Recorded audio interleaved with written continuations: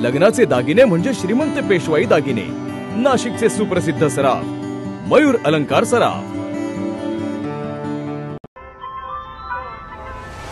ताज्या बातम्यांसाठी नाशिक न्यूजच्या युट्यूब चॅनलला सबस्क्राईब करा आणि बेल आयकॉनला प्रेस करा.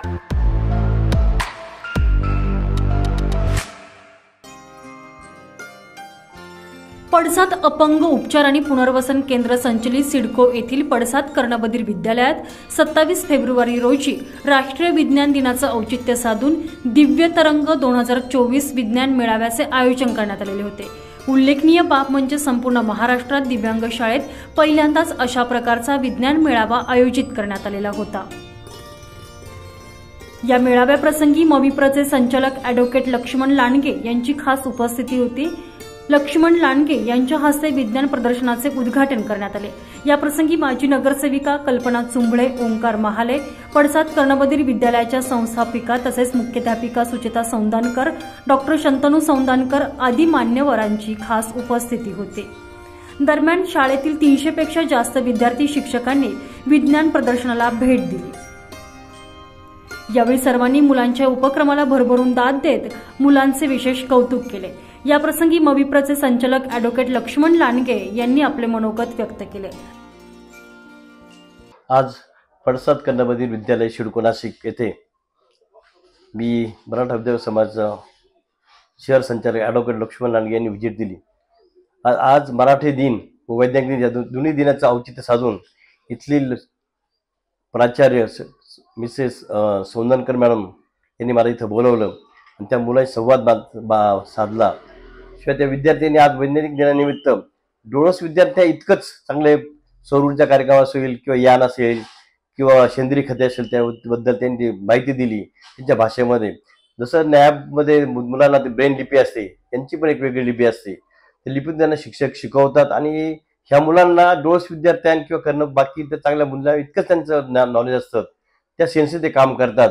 खरं अशा विद्यार्थ्यांना समाजाने संस्थेने फार मदत करायची फार गरज आहे. मी यांना बघितलं मी मला मला इतका आनंद वाटला की आपण एक चांगल्या संस्थेमध्ये म्हणजे आज व्हिजिट दिली.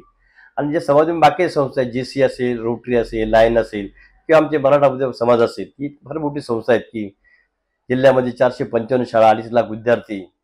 आणि ह्या संस्थेत जेव्हा माझ्या आमच्या पद्धतीने ह्या संस्थांना मी आव्हान करतो की अशा संस्थांना मदत करावी त्यांना ज्या पातळ्या गोष्टी लागतील तिथं फर्निचर असेल कॉम्प्युटर असेल फर्निचर असेल वह्या पुस्तकं असतील दप्तर असेल अशा या छोट्या मोठ्या ज्या गोष्टी असेल त्याला आम्ही निश्चितच मी मदत करेल. माझे नाव चांगना युवराज राठोड हे आहे.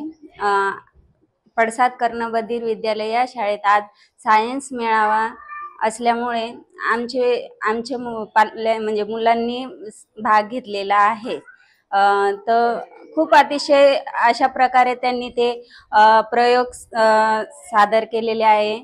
आणि ते स्वतःहून बोलण्याचा प्रयत्न करताय. यात आम्हाला खूप आनंद आहे की असंच शाळेनं हे कार्यक्रम असे ठेवावे चालू. आज पडसाद कर्णबधीर विद्यालयामध्ये विज्ञान प्रदर्शनीचे आयोजन केलेले आहे. आणि येथे आल्यानंतर मुलांचे ते प्रयोग बघून अतिशय मनाला आनंद वाटलाय.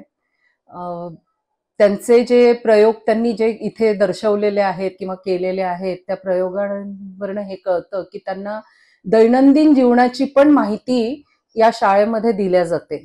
जसं की एक प्रयोग आहे जिथे सेंद्रिय सेंद्रिय शेतीचा हे केलेलं आहे.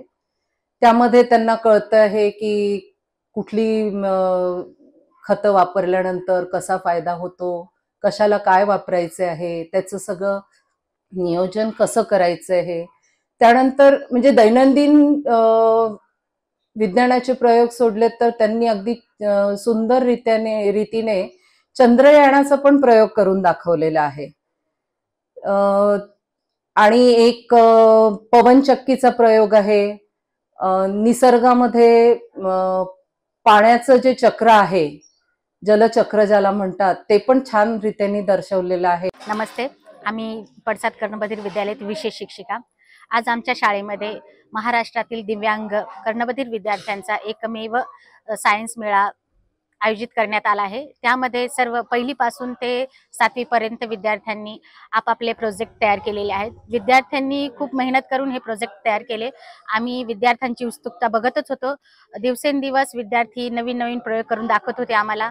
आणि स्वतः स्वतःच्याच भाषेत ते बोलण्याचा म्हणजे प्रयोगाचं प्रदर्शन त्यांनी केलेलं आहे. यासाठी सर्व शिक्षकांनी खूप मेहनत घेतलेली आहे. आणि सर्वच विद्यार्थी हे या प्रयोगात सहभागी झाले होते. स- त्यामुळे आम्हाला पण या कार्यक्रमाचा आनंद घेता आला आणि विद्यार्थ्यांच्या कलागुणांना वाव मिळाला. दरम्यान कुठल्याही प्रकारच्या अपंगत्वाची जाणीव होऊ न देता सामान्य मुलांप्रमाणेच या मुलांनी आपले कौशल्य पणाला लावले. त्यामुळे सर्वांनीच मुलांच्या उपक्रमाला भरभरून अशी दाद दिली.